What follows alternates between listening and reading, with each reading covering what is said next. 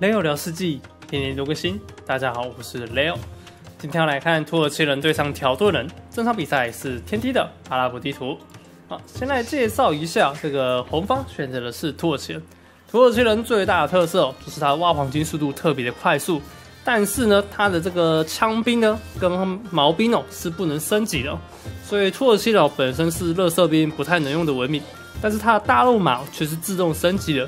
而且肉马的部分呢，还有这个多一点的远防哦，所以它的肉马也是最抗、最耐抗箭矢的一个肉马文明哦。那土耳其人呢，他的火枪也是特厉害的，这个土耳其火枪兵射得更快又更准，所以土耳其人的火枪土火往前推进哦，是一件很难缠的事情。但是在上上次的改版哦，土耳其人的火枪兵的这个射程有被削弱了。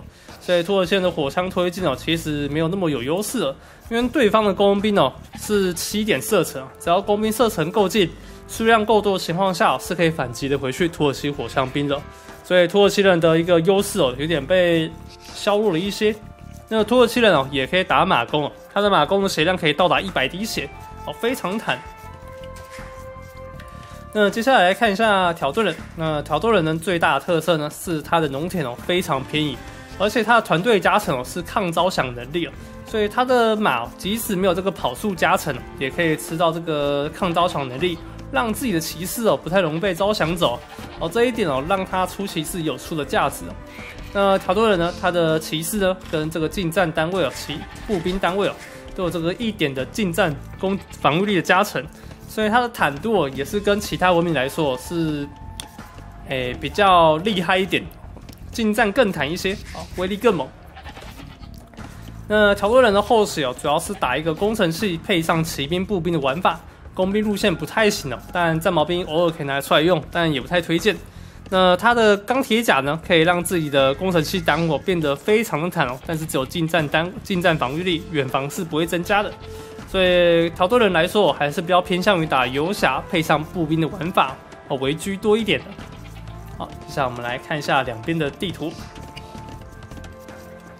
那我们先看到黄金在下面，果子在右方，黄金在右方。那有一块附金是在左边啊，这个左边就比较惨一点了。那石头在下方也比较不太好。那目前看起来地图上来说是不太差的，因为至少这边可以围死哦，也算好围一点点。这边如果小围的话，看一下哦。好，这边再稍微围过来，围死，小围小围。也不算难围啦，而且里面还有副金哦，主金也在里面，至少六十分合格。那牧区虽然两片哦，但是都是比较厚的牧区哦，所以暂时被骚扰也不会有太大的问题。好，那看一下土耳其这边，土耳其的地图是金在里面，那果子在右方，黄金在上方，下方也有黄金，看起来是比条顿人这边更好一点。那围架部分也比较简单哦，这边稍微围一下，这里围过来，啊，这边围到过围过来过来哦，就围好了哦。如果他完全探完土的话，就会发现自己的土哦超级好围啊。但前期的部分是不太可能看到这么多细节了，所以这边一开始要小围的话，其实很难围哦。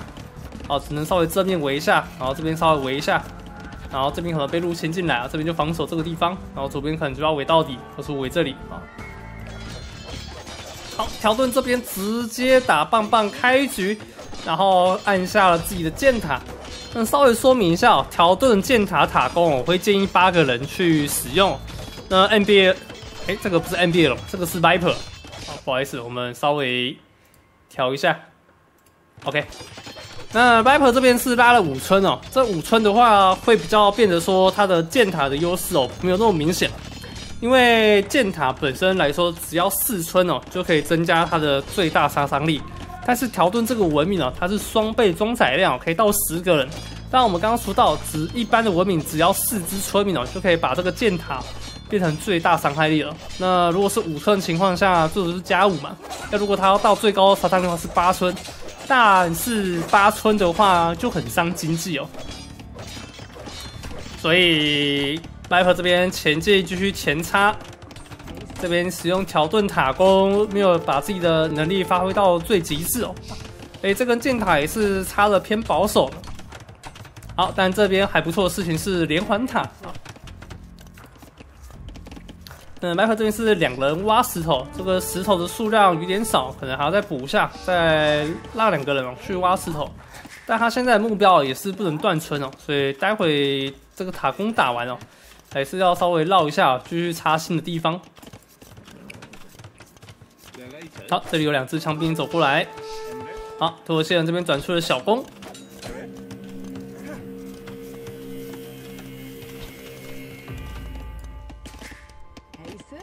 好，呃，看起来 Viper 这一波攻势是要放弃了吗？哦，放弃了。直接去抢你的果子来吃。既然伤不到你其他经济，那我就来吃果子吧。好，白 r 这边也是放弃的蛮果断的。好，这边想要包抄掉对方的工兵，工兵第一时间被收掉。枪兵跟棒棒稍微骚扰了一下。那土耳其这边继续挖黄金，然后转出了工兵。后面农田可能要多撒一点，但是现在农田只能往后撒，看要不要再补一个模仿，不然这个效率会很差。那前面部分这里都不能撒农田哦，也是蛮惨的。这一波还是有稍微伤到一点点哦，但并不多。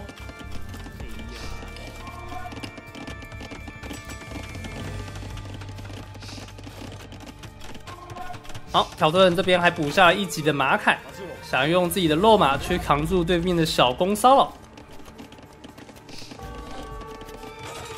因为这边看到对手来，但没有办法挡。好，这边想要再插一根箭塔，结果对手也是插了一根。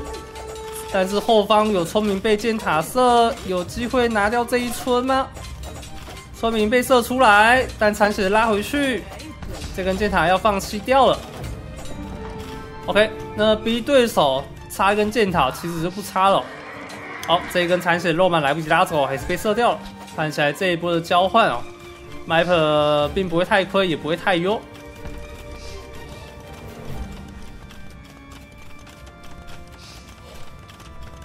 好，那黑亚这边后方经济被稍微棒棒干扰到了一下，被迫盖了几个房子。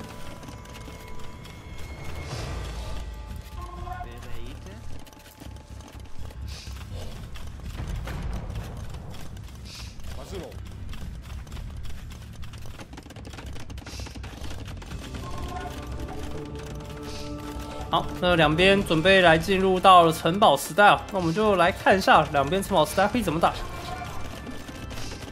那土耳其上城堡时代有个比较特别的开局方式哦，就是速城堡，也不是速城堡，是一般上城堡之后马上爆出肉马，哦，去控制对方老头，然后再转出土火去压制的打法。那这个打法其实蛮厉害的，因为火枪兵也可以打这个骑士，数量够多的话，一发一只骑士是没有问题的。那对方老头来招降自己的土耳其火枪兵的话，落马也可以进行压制哦，甚至打对方毛兵哦都是非常好用的。OK，那两边是到城堡时代，Viper 这边果然转出了毛兵，哇，这看来要变成我说的遇到那一套打法了吗？那看要不要下个马厩吧，这边也可以下马厩。那这边下马厩还有个优点哦，除了可以出落马之外，也可以转马弓哦，都可以去考虑的，去点一下自己的跟踪技术啊跟品种哦。让自己的马弓哦也可以快速成型起来，但城堡时代通常不太会去打马弓哦，而是打这个土火居多。呃，除非你的石头真的被控到完全不能挖，才会去打马弓哦，或是打骆驼啊、骑士之类的单位。好，那目前看到 Viper 的条盾啊，骑士已经走了出来，看天生双防。啊天生就是一点近战防御啊，很坦的。好，这边直接双 T C 开农，条盾这边的是三 T C 农，比对方更狠。好，但这边烧了也没有停止，毛兵加上骑士继续干扰当中。好，土耳其火枪兵开始慢慢量产出来。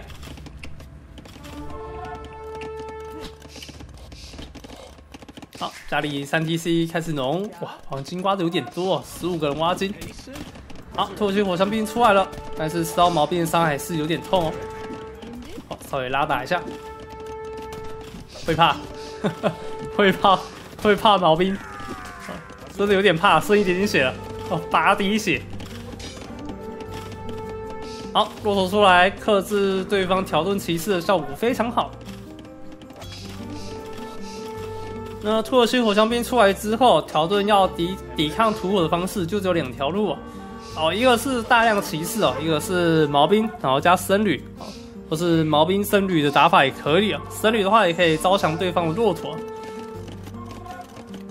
但问题就是老头的招降范围哦没有这么远，他只有九射程。土耳其火枪兵走个两步哦，射一下也是 OK 的。呃，条顿这边呢比较惨的是他的肉马是不能升级的，所以待会如果对方转老头啊，或者是想用落马去阻止对手会比较困难一点。好，这边果然转出轻骑兵，敲掉了一只落马。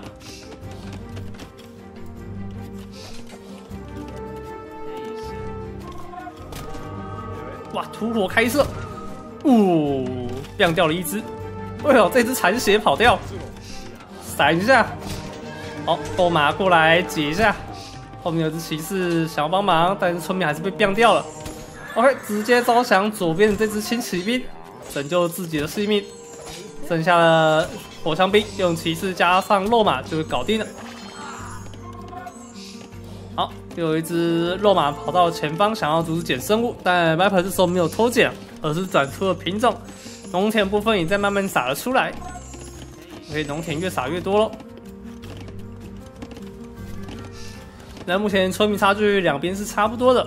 那土耳其火枪兵对上骑士的打法，可能还是要配点骆驼掩护啊，不然骑士太大量，土耳其火枪兵可能还是挡不住。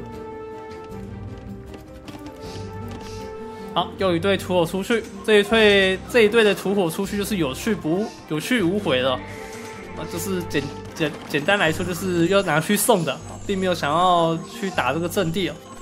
能偷几只村民就偷几只村民的概念，让对方有点忙。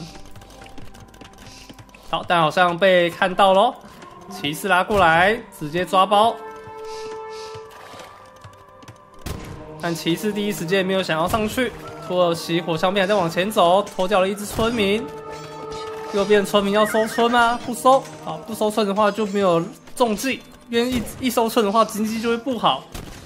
好，当然这边骑士上去直接硬砍，砍掉土耳其火枪兵，哇，看解的多快啊！大量骑士硬解也是 OK 的，虽然跑的速度慢了一点了，看追不到，条顿的骑士就是这么的可怜，追不到对方的肉马。好，那可能城堡时代两边就是打一个开农哦，不会有一个大场面的。火枪兵的部分也没有很积极的再出。好，这时候土耳其人点下了手推车的升级。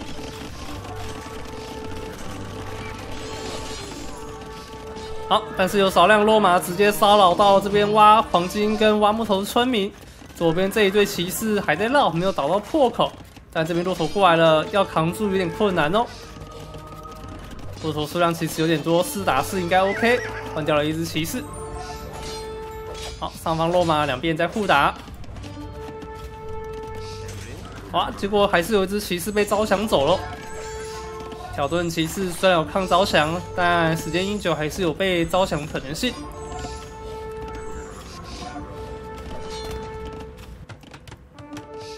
好，麦克这边补下了更多的马厩，看来是想要来打个大马爆了。还补下了一个宗教狂热，增加一下老头的移动速度。可能想要搭配这个黄金兵种，直接前压。好，骑士数量有点多喽，十七只的骑士。那土耳其人这时候已经点下了地龙时代，马凯部分也在升级上去了。这里补一下第四个城镇中心，后面又补了一个新的城堡。看来条顿这边防守来做的还不错。那聪明差距呢？两边只差距两村而已，并不是非常明显。条顿这边点下地龙时代，时间差距约为一分半而已。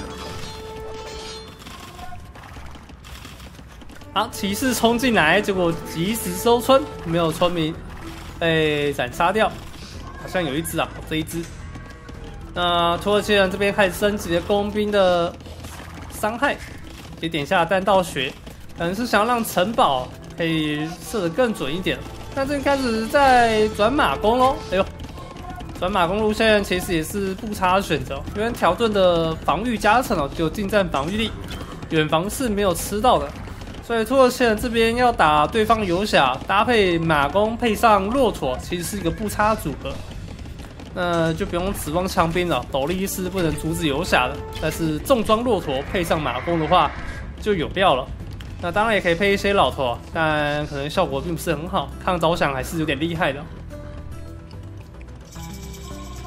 好，那白跑这边拉了一些村民，应该是想要往前押宝。但这边好像看到对方的单位入境哦，哦，看到对方的兵过来。好。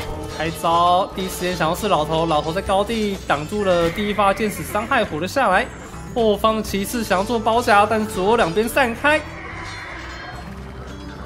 好，土耳其这边马上补下了重装骆驼，还有三级射。莱和把城堡盖在这个高地。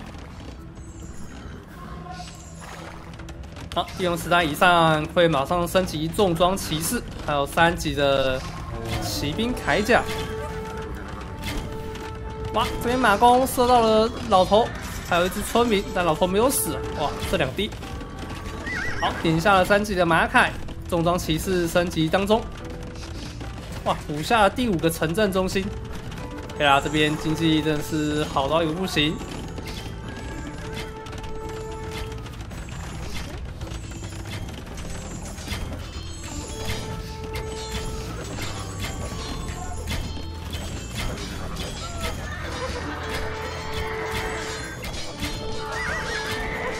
一波骑士应该是秒控了，送掉了。上方的骑士要往前冲了吗？但是只拉几只骑士进去里面探探路，并没有把自己的本队往前送掉。因为自己的重装骑士哦，已经快要升级好，还有三级的马凯，这边送掉自己的骑士数量，其实不太明智的选择。呃，这边 Viper 卖掉了大量木头，换了四百多的黄金，马上用来升游侠了。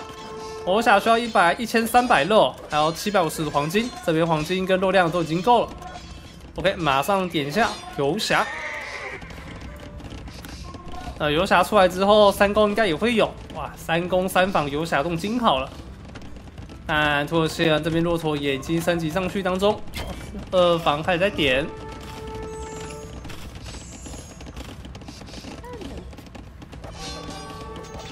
好，重装骑士再次找到了菲亚的村民，马弓数量还是没有那么理想，但已经先点上了彩翼骑兵。彩翼骑兵点完之后，血量会再多加二十点。重装骆驼还再多加十点，那最后的血量就是一百滴了。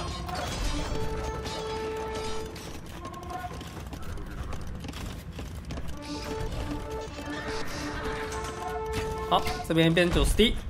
看要不要赶快补下重装马弓哦，这里没有重装马弓的话，伤害还是有点差的哦。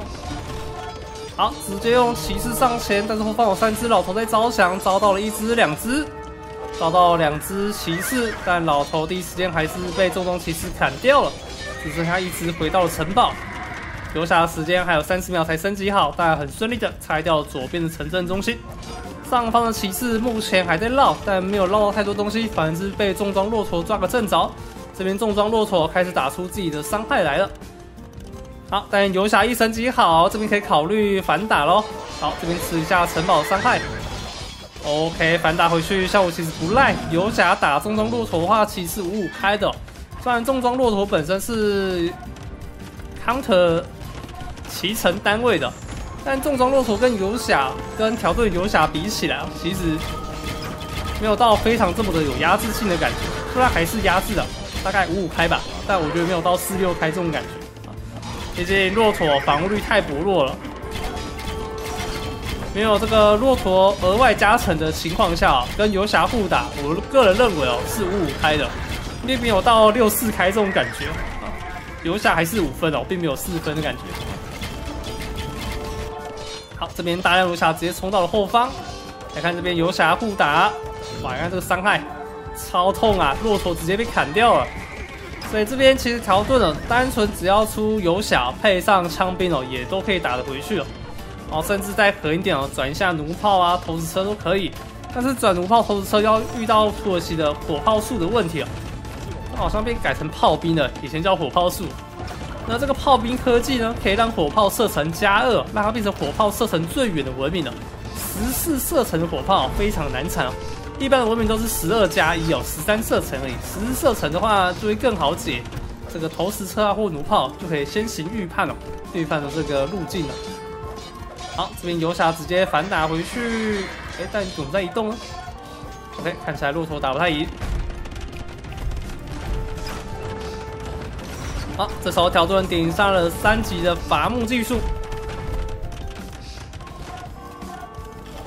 好，后方村民被抓掉非常多只，再砍个一刀收掉。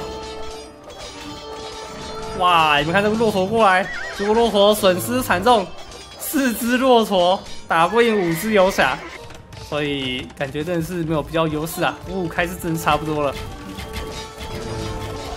好，但是这边的骆驼数量很多。只要骆驼数量够多的话，还是能反制回去的。所以这边就要看快亚这边的空兵如何。现在上方两边都在开打，上方的游侠正面冲锋，但骆驼数量实在太多了，这边骆驼数量高达快二十只。那下方的游侠虽然有跟正面的马弓互靠，但左边的游侠也在极力抵抗当中。这边游侠非常大量，怎么那么奇怪？怎么左边那么多游侠？好，但白粉这时候把所有的游侠开始拉走。这名游侠直接在城堡下方，但没有先上前往前，直接拆除这面的巨型投石机。这边防守看起来做的还可以，后方到处都有游侠在窜来窜去。这一波 Viper 的多线骚扰看起来有点成功，但游侠数量还是很多，目前还是有三十几只的游侠数量在继续往前补。现在到处都有游侠在骚扰自己家领地，红铁后面有点被弄爆了。这里游侠也不管到底有没有城堡，直接就是往前冲就对了，砍到了非常多的村民。这一台巨型投石机还拆掉了一个城镇中心，这一波的伤害啊，哎，黑亚有点受到了一些伤害，村民只剩下八十三村。白普这边村民数有一百三十五，村民优势还是非常巨大。阿里血游侠回来手下落马的骚扰。好，左边这一块挖石头的村民居然居然没有被发现，但是这面的城堡感觉快要扛不住了，这块野鸡能够挖干净吗？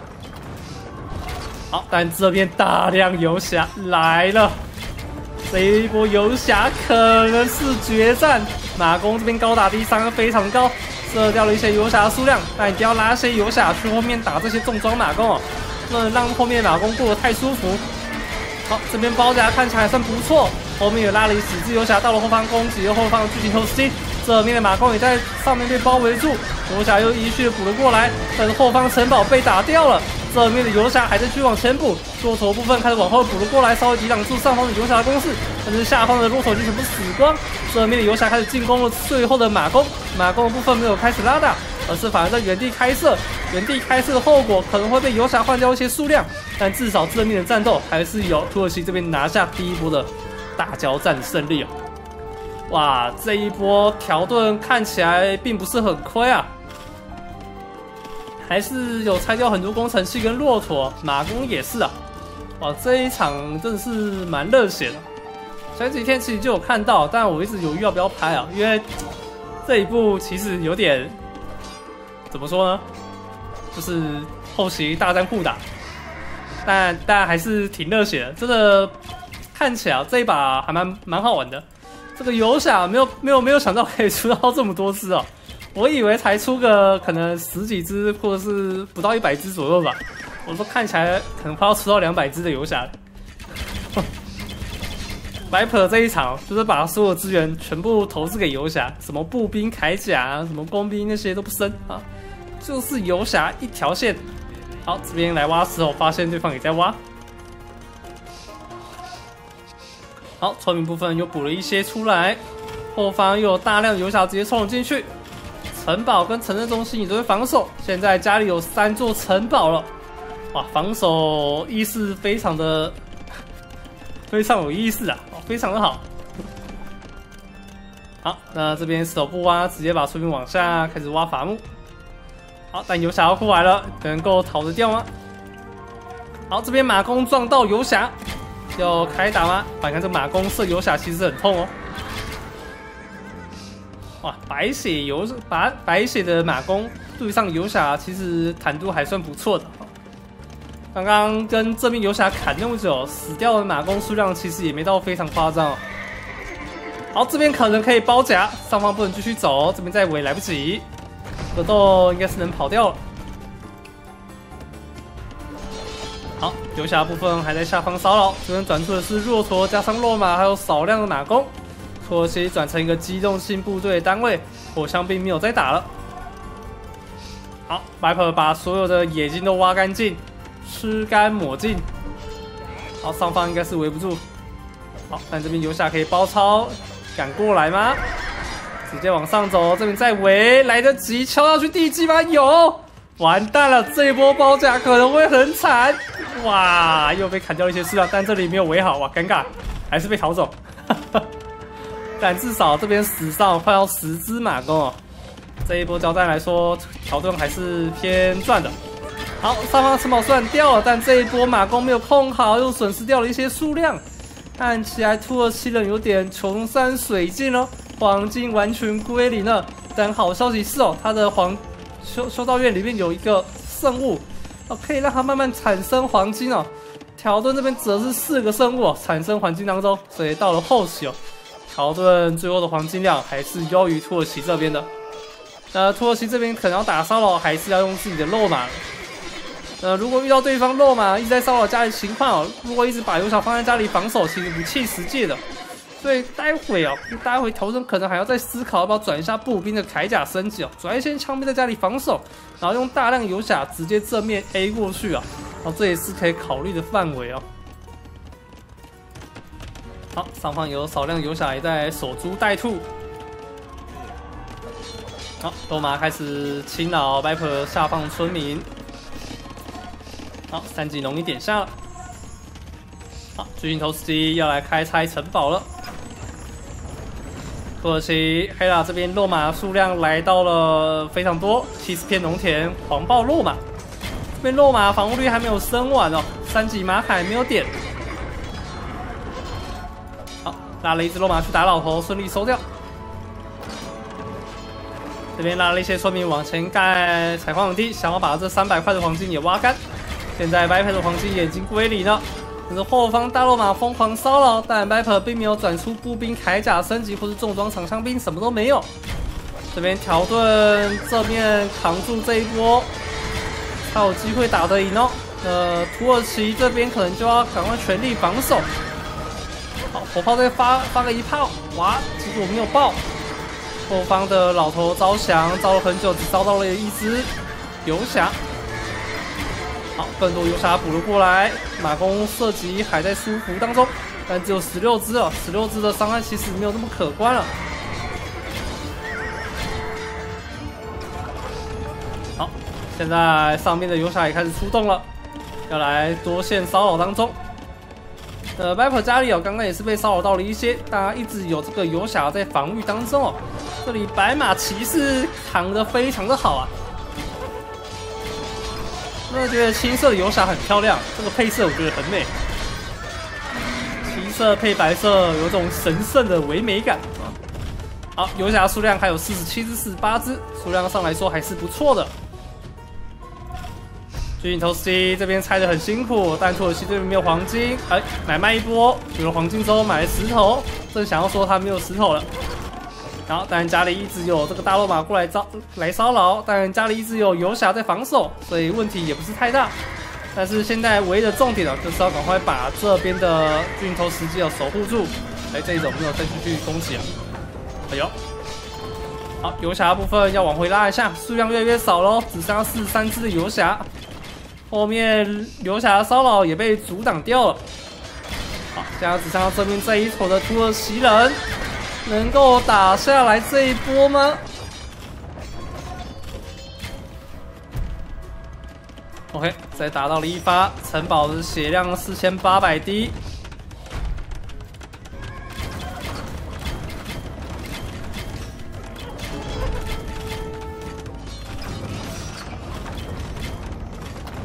这边落马迂回战术，突然一个回头，想要来插巨头。这里没有骗到，Viper 这边回防速度非常快速。OK，游侠再次站上了高地，想要继续进攻，但这边黑牙又被迫卖了一堆木头跟石木头跟食物去换黄金，但黄金还要再多一点才可以买到一个石头，一百石头又买了起来继续防守。好，当然这边巨头石金出来，想远距离偷拆一下巨头，有机会拆得掉哦。好，这边大罗马要抓到了伐木工，非常多的伐木工开始往左移动。